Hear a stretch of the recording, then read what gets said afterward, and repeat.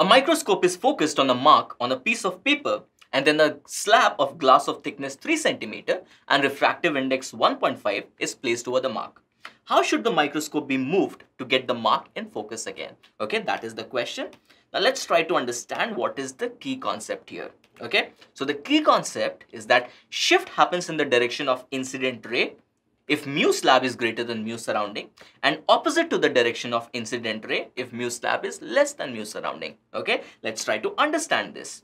So there is a slab and the refractive index of the slab is greater than that of the surrounding. Okay, now if the object is here and you follow the ray diagram, you can see that the image is formed here and the shift happens in the direction of the incident light. Is that correct?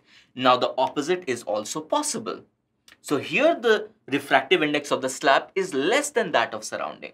And if the object is placed here, by following the ray diagram, you can see very clearly that the image is going to be formed here. So the shift happens opposite to the direction of the incident light. Okay, now this information is very important because we don't just have to tell the magnitude of the shift, we have to tell the direction of shift as well. Okay, so with that in mind, let's try to solve this question. So there is a microscope which is focused on point P before the introduction of glass slab. Okay. Now when the glass slab is introduced, what is going to happen? Because of the glass slab, there is going to be a shift in the image. Okay. So the microscope will also have to be adjusted to focus on the mark again. Right. That is the simple understanding needed here. Now in order to calculate the magnitude of shift, that is very simple. The shift is given by delta x is equal to t into 1 minus 1 by mu when the surrounding is air. Okay, t is the thickness, mu is the refractive index of the slab. Okay, so let's quickly find out what is delta x. So delta x is equal to t which is 3 centimeter multiplied by 1 upon 1.5. Is that correct? All the data is here. Now, so this becomes 3 into 0.5 upon 1.5. So this becomes 1 centimeter. Now the shift is 1 centimeter. But the critical question is, what is the direction of the shift? Okay, let's try to figure that out. Okay, here is the object. Now what is the direction of incident light? This is the direction of incident light, correct? Also, what is the surrounding? The surrounding is air. What is the slab? Slab is glass. Okay, so obviously the refractive index of the slab is greater than the refractive index of the surrounding. Okay, so the shift is going to happen in what direction?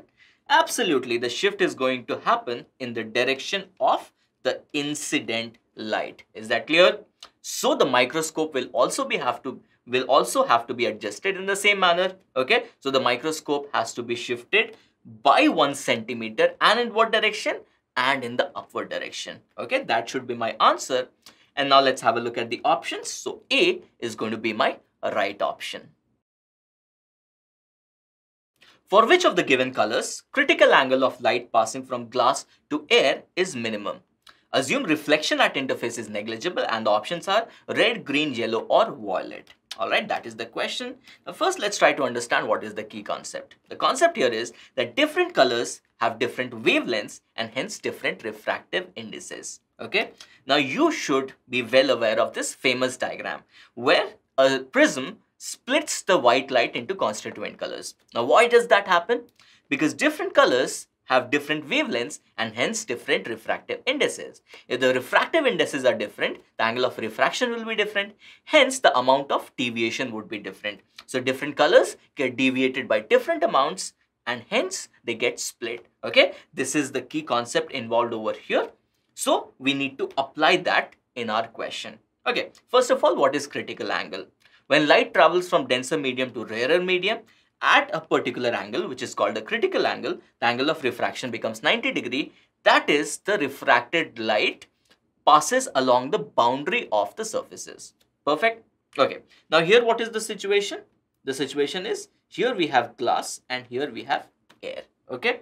Now, what is the value of critical angle? We know that sine IC is equal to mu r upon mu d, whereas mu r is the refractive index of the rarer medium, this, and mu d is the refractive index of the denser medium. Okay, so can we say this is equal to mu r, which is 1 upon mu of glass. Okay, now mu of glass is going to depend on the color of light as well. Okay, now what do we know?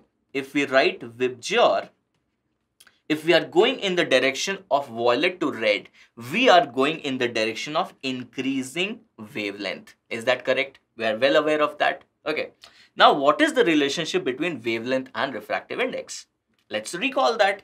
So, we know that mu1 upon mu2 is equal to v2 upon v1 is equal to lambda 2 upon lambda 1, right? This is the relationship between the three quantities. Now, this tells me very clearly that mu is inversely proportional to lambda. Okay, so suppose I'm going from violet to red, what is happening to lambda? Lambda is increasing. Okay, if lambda is increasing, mu is going to be decreasing. Okay, if mu is going to be decreasing, then 1 by mu g is going to be increasing. If 1 by mu g is going to be increasing, then because sine is an increasing function in the first quadrant, IC is also going to be increasing. Is that correct? Okay. So if we are going from violet to red, critical angle is increasing. Hence, when we are going to get the minimum critical angle? When we are at violet. Hence, what should be my answer? My answer should be violet. And what are the options? So option D is going to be the correct option. A light ray is incident on an inclined glass air interface as shown. The largest angle phi for which the light ray is totally reflected at the surface AC is, okay, what is the, that is the situation. So what is the key concept involved here? That when light travels from denser medium to rarer medium, the total internal reflection takes place if the angle of incidence is greater than the critical angle. We know this pretty well, okay. So the situation here is something like that as well. So AC is the boundary of glass and air, okay? And light is traveling from the denser medium to the rarer medium. Hence, total internal reflection can take place. What does it depend upon? It depends upon the angle of incidence. Okay, so let's try to find out the angle of incidence. Now, this light ray here and this slab surface or this side over here are parallel to each other. Okay, so this angle is going to become phi because this angle is phi. Okay, now if I draw a normal on this boundary, then this is 90 degree, okay? Which means this angle is going to be 90 minus phi and this angle is the angle of incidence. Is that correct? Okay.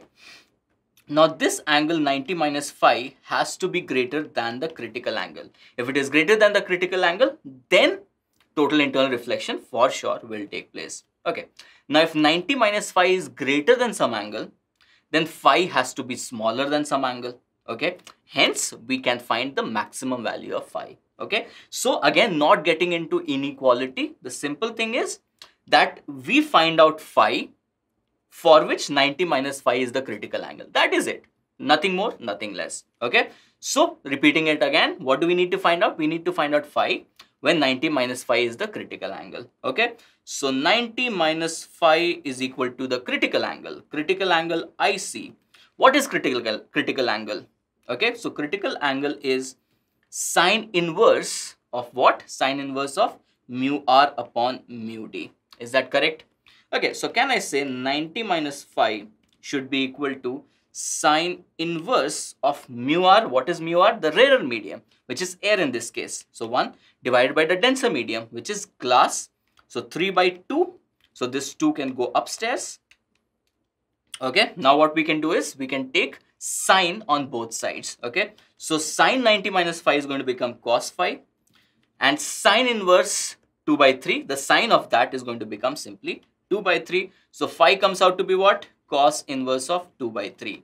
Now we have already discussed that if this is phi, okay, phi is cos inverse 2 by 3, then 90 minus phi is the critical angle, okay. And we have already discussed that if phi decreases from this amount, okay then total internal reflection will take place otherwise it will not. Okay so doing this simplifies my calculation. I found the answer and what are the options? The option is option a and that is the correct one. Light takes time t1 to travel a distance x1 in rarer medium m1 and the same light takes time t2 to travel a distance x2 in a relatively denser medium m2 the critical angle for the pair of media will be. Okay, that is the question. And what is the key concept involved? Which you are well aware of, that critical angle is equal to sine inverse of mu upon mu d and the relationship between refractive index and speed is mu1 upon mu2 is equal to v2 upon v1. The relationship is inverse. Okay. Now let's see how we can solve this problem. Okay. Now this is a denser medium M2 and a rarer medium M1. Okay. So what is given to us that in medium M1 it takes T1 amount of time to travel a distance x1. So basically what have they given us? They have given us the speed which is going to be x1 upon T1. Correct? Perfect. Similarly, they have given us the speed in medium 2 which will be x2 upon T2. Perfect. They want us to find out critical angle. Okay. What is critical angle? That is sine inverse of mu r upon mu d. Okay. Perfect. So what is mu r? Mu r is medium 1 which is the rarer medium and mu d is the denser medium which is the medium 2. Okay. So can I say IC is equal to sine inverse of mu1 upon mu2. So basically mu1 is the refractive index of medium 1 or m1, mu2 is the refractive index of m2. Perfect. Do I know the refractive indices? No, I don't know. What I know is the speeds. Okay, do I know the relationship? Absolutely, I know the relationship. So mu1 upon mu2 is equal to v2 upon v1. Is that correct? Can I substitute it there? Absolutely, I can. So IC becomes sine inverse of mu1 upon mu2, I can replace that by v2 upon v1. So IC becomes sine inverse of v2. What is v2? x2 by t2. And what is v1? X1 by t1. Hence x2 t1 upon t2 x1. That is the critical angle. And if I arrange the terms, I can write it as sine inverse of x2 t1 upon x1 t2. Okay, that is going to be my answer. And let's have a look at the options. And option D is going to be the right option. A ray of light from a denser medium strikes at the interface of a rarer medium at an angle of incidence I. If the reflected and the refracted rays are mutually perpendicular to each other, then the critical angle is. Alright, so the situation is a little interesting here. So light is incident at the boundary of a denser medium and rarer medium. So light is going from denser medium to rarer medium. Okay. So it is refracted away from the normal and also some part of the light is reflected. Okay. Now the relationship we have is that the reflected ray and the refracted ray making an angle 90 degree. Okay. So if I is the incident angle, angle of incidence, R is the angle of refraction, then this angle, which is the angle of reflection, is also going to be I. Angle of incidence is equal to angle of reflection. Okay, perfect. In this situation, and whatever is given to us, we need to find out what will be the critical angle. Okay, so first of all, what is critical angle? Critical angle is equal to mu of rarer upon mu of denser. Okay, what is the rarer medium here? It is medium 2. And what is the denser medium here? It is mu 1. Okay, so I know I have the relationship between critical angle and mu2 and mu1. But that is not the relationship I want. The relationship I want is between the angle of incidence and critical angle that we can see from the options. Okay, so let's try to figure that out. So one thing is also we can conclude is that the angle of reflection I and the angle of refraction R, the sum is going to be 90 degree because this is 90 and this entire thing is going to be 180 degree. So can I say I plus R is equal to 90 degree? Yes. Okay. So that is something I can see here. Okay. Still not close to the solution. I want a relationship between the refractive index and angle of incidence so that I can make the substitution. Correct. What is it that we know? Do we know a relationship? Of course, we know a relationship and that is the most fundamental relationship, Snell's law. So sine I upon sine R is equal to mu2 upon mu1. Is that correct? And I see mu2 by mu1 here as well. So sine IC is equal to sine I upon sine R. Now it look like, looks like we are getting close. Okay. But in the option, I don't see R. So I somehow have to eliminate R. Okay. Can I see that? So R is equal to 90 degree minus I. Do I see that? And what do I need? I need sine R. So if I take sine so this becomes sine r is equal to sine 90 minus i which will become cos i. Okay, now putting all of this together, can I say that sine ic is equal to mu2 upon mu1 and mu2 upon mu1 is sine i upon sine r. And here I can write sine i and sine r I can replace it by cos i. Okay, so what do I get? I get sine IC is equal to tan of I. Hence, IC is going to be sine inverse. IC is going to be sine inverse of tan I and that is going to be my answer. All right, that is the answer. And let's have a look at the options. So option A is going to be the right option.